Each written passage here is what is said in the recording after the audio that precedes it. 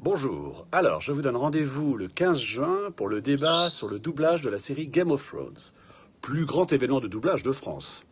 Et surtout, n'oubliez pas, un Lannister paie toujours ses dettes. À très bientôt. Au 15, en fait.